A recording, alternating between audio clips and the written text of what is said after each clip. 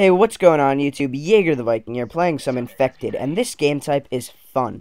You know, I didn't really play it too much in private lobbies, just because, you know, I could never get a lobby of 18 going. But now when they actually set up the lobbies and it's a full lobby, it is awesome. I'm having so much fun with this. Just a mix of running around and sitting in corners and just doing all that. It's really fun. Like, usually when I get into a lobby, I won't be talking to random people in that lobby. I just kind of stick to the people I already have. But I actually start talking to people in this.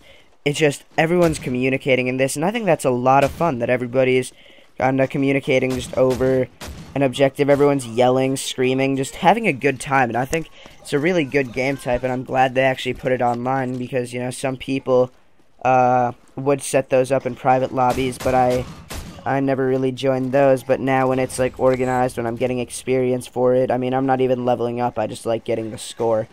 And, uh, and I, I just think it's a fun game mode. The only issue is that they took out Drop Zone. And that kind of annoys me because Drop Zone was actually a game type that they put it in because it's clustered and people kind of like playing like that. But at the same time, I had a lot of fun with Drop Zone.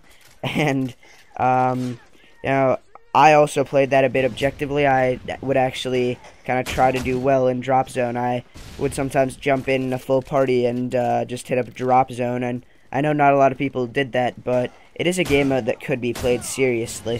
While this is just, uh, you know, you kind of have to play it um, just for fun. You can't really be too serious when you're switching teams halfway through the game, and I don't really understand how you win. And um, I just I have fun with it though. Like the Robert Bowling tweeted that they didn't have room for drop zone, but they're working to get it back in, and I think that'd be awesome. You know, a lot of people are complaining that they don't care about the players, that they don't care about anybody, but I really think they do. I really think that they're doing their best to update this game. And uh, I'm noticing now, I don't know if you guys noticed him, but yeah, there's a guy kind of in the distance there to my left who I've seen like four or five times and didn't do anything about. I guess I was just so focused on uh, everyone around him that I didn't even look to uh, see if there was anybody there. But yeah, he wasn't playing, so it wasn't a big deal. But uh, I thought that was kind of funny now when I'm rewatching this and I see this dude just sitting there AFK so close to me and I didn't even notice him.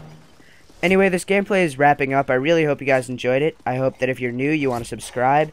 If you're not new and you enjoyed this video, I mean, you watched to the end, so I'm assuming you enjoyed it.